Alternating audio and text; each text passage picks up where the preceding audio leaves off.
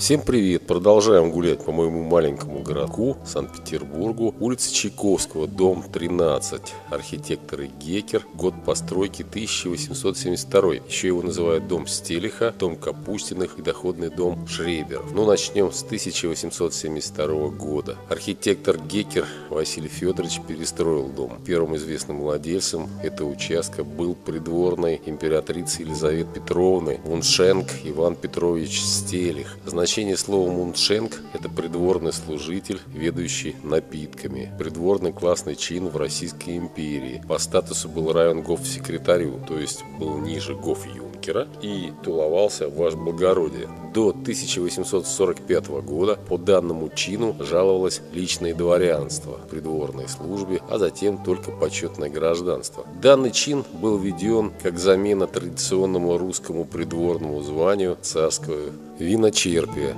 Стелих Иван Петрович, подполковник Минского пехотного полка, командир полка. В 1748 году двор купил его брат, капитан канцелярии отстроения Христиан Петрович Стелих. В 1791 году сын Стелиха Николай продал полученный в наследство участок жене придворного камер-фурьера Авдотьи Черниковой. Камер-фурьер табеля рангов соответствовал гражданскому чину коллежского или военного советника. А, ну, в том же в 1791 году участок купил надворный советник Капустин. Надворный советник – это гражданский чин седьмого класса в табеле рангов России. Соответствовал чинам подполковника в армии, войскового старшины у казаков и капитана второго ранга. Дом принадлежал семье Капустиных более 30 лет. В 1824 году двухэтажный 8 окон дом настроили третьим этажом. Затем дом перешел к булочному мастеру Августу Шрейберу, а позже к его сыновьям, купцу второй гильдии Августу и артисту Карлу. После смерти Августа домом владела его вдова Эмилия Ивановна. В 1772 году дом перестроил архитектор Василий Федорович Гейкер. Это уже был дом, оформленный в стиле барокко. Он стал шире 15 окон, четырехэтажный, украшенный балконами, навесом на парадном. Ну и старый дом вошел в новую постройку. В квартире 6 этого дома жил артист Александринского театра Ипполит Иванович Монахов, сын учителя Ивана Яковлевича Монахова, который состоял при Киевской первой гимназии училище землемера. По воспоминаниям, уже в студенческие годы Монахов был страстным театралом, постоянно посещал Киевский городской театр и артистически копировал актеров. По окончании университета он поступил на службу в Сенат, состоял младшим корректором, но в 1864 году выступил в качестве куплетиста на домашней сцене графа Кушелева Безбородько. Ну, после этого оставил службу в Сенате и сделался профессиональным куплетистом. Кстати, исполнял куплеты из журнала «Искра» и сатирические песни Биранже в переводе Курочкина.